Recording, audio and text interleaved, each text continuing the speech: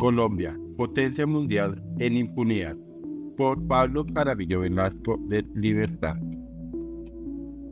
The Rule of Law o el imperio de la ley en español es uno de los pilares fundamentales de una sociedad libre. Una sociedad en donde todos sus miembros reciben un trato en igualdad ante la ley, en donde el aparato judicial obedece estrictamente a las leyes y las antepone alejados de cualquier sesgo ideológico. En pocas palabras, una sociedad en donde nadie esté por encima de la ley. ¿Es el caso de Colombia? Según los índices que realizan algunas organizaciones mundiales que tienen como materia el estudio del imperio de la ley, Colombia ocupa un merecido puesto en la mitad de la tabla que corresponde a los países donde las leyes no son precisamente las que mandan. Por tomar un ejemplo, en el índice del World Justice Project, el cual mide concretamente los indicadores que afectan el Rule of Law, Colombia ocupó para 2023 el puesto 94 en 342 países estudiados. Y si nos comparamos con países de Latinoamérica y el Caribe, para el gusto de los mediocres, este estudio nos ubica en el puesto 32, entre 32 países de la región, siendo un resultado aún más negativo para Colombia. Pero no se trata de cubrir el agua tibia. Este problema está sobrediagnosticado en Colombia. Hace muchos años se habla de una urgente y necesaria reforma a la justicia, la cual todos evaden pero la realidad es mucho peor y nos afecta a todos como sociedad. A diario vemos noticias de delincuentes que quedan libres luego de haber sido detenidos en flagancia. Algunos de esos delincuentes con varias capturas encima ya hasta sonríen ante la cámara, pues conocen las debilidades de la justicia.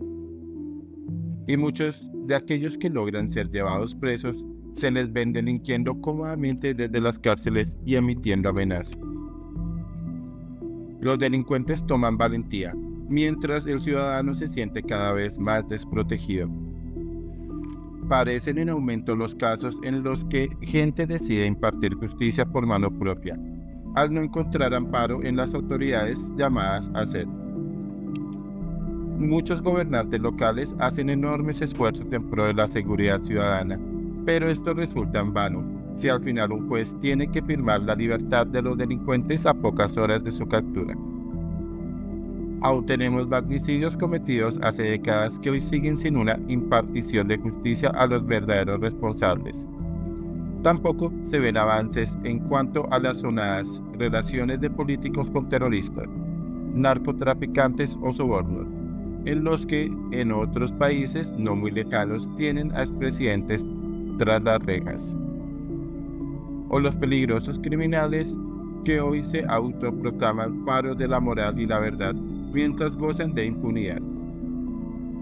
En Colombia, la sensación es que nada pasa, nadie responde ni nadie los hace responder. El mensaje que se les da a una sociedad que opera de esta manera es totalmente erróneo. No nos hemos purgado y habrá que hacerlo porque de esta manera es totalmente inviable avanzar adecuadamente. Cuando el imperio de la ley rige en una sociedad, se previene el ejercicio arbitrario del poder, venga de donde venga.